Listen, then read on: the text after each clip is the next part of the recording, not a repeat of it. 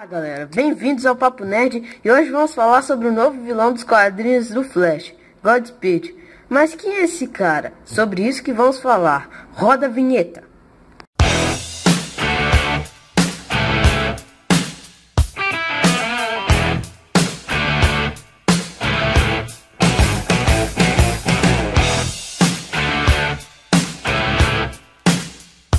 Speed é um vilão do Flash que pode ser introduzido na série de TV, mas isso não é provável, pois ele, ele ainda está sendo introduzido na série de quadrinhos Flash Rebirth, no volume 1, lançado em junho de 2016.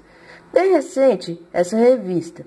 Ele, junto com vários velocistas, que são pessoas atingidas pela força de aceleração, criados após a tempestade de força de aceleração, que também é chamada de Speedverse, Alguns fãs estão menos impressionados com a Flashverse, pois já tem uma abundância de velocistas do mal.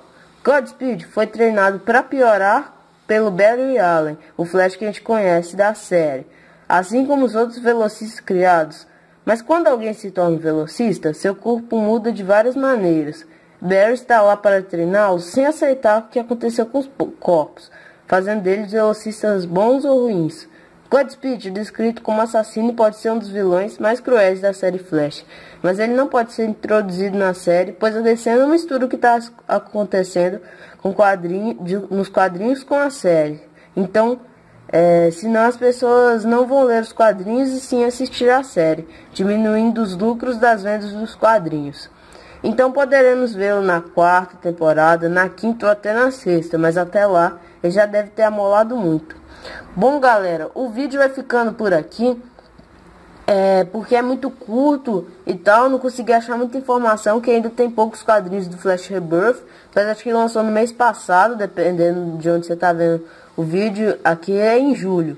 É, Inscreva-se no canal, então, compartilhe nas redes sociais, favoritem o vídeo e tchau!